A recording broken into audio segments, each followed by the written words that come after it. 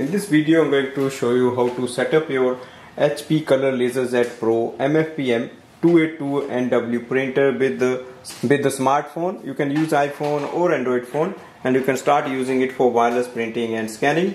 So let's start the setup process. Go to the printer control panel. So we're going to connect the printer with the Wi-Fi network first. So go to the setup Scroll down and look for the network setup. Select wireless menu, wireless setup wizard. Select your Wi-Fi network. Enter the password using the touch display panel. Now go to your smartphone. So I'm just going to use my iPhone. Open the HP Smart app. You can download this app from the App Store. Click on the plus button on the top Select the second option complete now. It display your HP color laser printer. Select it. Instantly it will add up the printer and we are ready to use it. So this way we can do the setup of the printer with the smartphone using the Wi-Fi.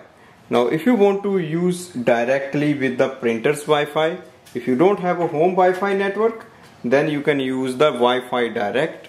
For that you have to go to the printer control panel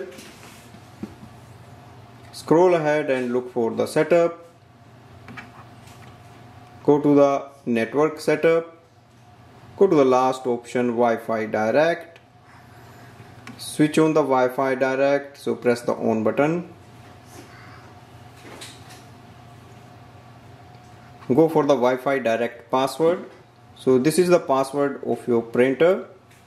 Now go to your smartphone and open the Wi-Fi settings wait for your printer to show up.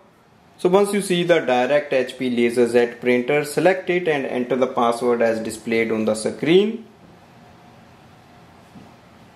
Printer is connected to the Wi-Fi. Now go to the HP Smart app.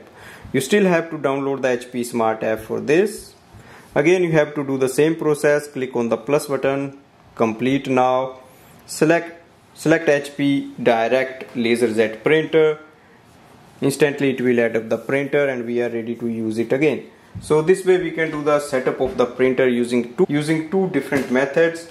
So if you have a home Wi-Fi network you can use the Wi-Fi setup. If you just want to connect directly with your if you just want to directly connect with your smartphone then go to the Wi-Fi direct setup.